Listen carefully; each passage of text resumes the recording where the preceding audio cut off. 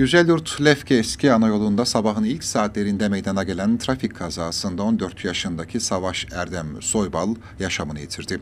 Polis basın subaylığından verilen bilgiye göre Güzelyurt Lefke eski ana yolunda bu sabah 2.20 sıralarında sürüş ehliyeti olmadan JG 531 plakalı salon aracı Güzelyurt'tan Aydınköy'e doğru süratli ve dikkatsiz bir şekilde kullanan 14 yaşındaki Savaş Erdem Soybal sola meyilli viraja geldiği zaman yolun solundan çıkarak direksiyon hakimiyetini kaybedip o noktadaki bir evin bahçe duvarına çarptı.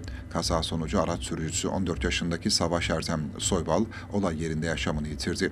Polisin olayla ilgili soruşturması devam ediyor.